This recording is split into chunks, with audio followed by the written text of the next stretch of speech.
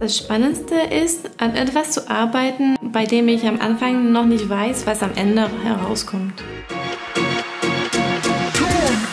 Ich bin Isabel, ich bin Softwareentwicklerin bei Drexelmeier.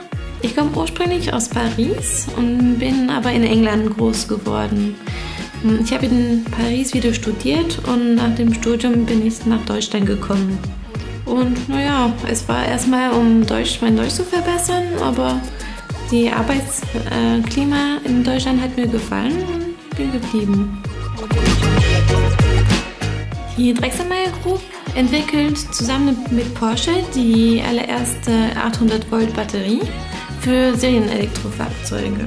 Das ist für beide Unternehmen ein technisches Neufeld. Ich arbeite an der Diagnosesoftware. Damit lässt sich feststellen, zum Beispiel wie der Ladezustand der Batterie ist. Es ist ziemlich komplex, weil es von vielen Aspekten, ähm, wie zum Beispiel die Temperatur oder die Veralterung der Zellen, abhängig ist.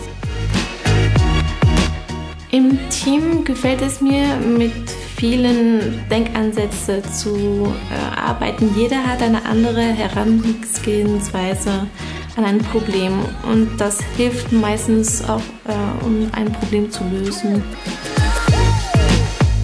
Ich will Neues lernen und mich immer weiterentwickeln. Die Firma bringt immer neue Technologien der Mobilität auf die Straße und das, das gefällt mir bei Drexelmeier.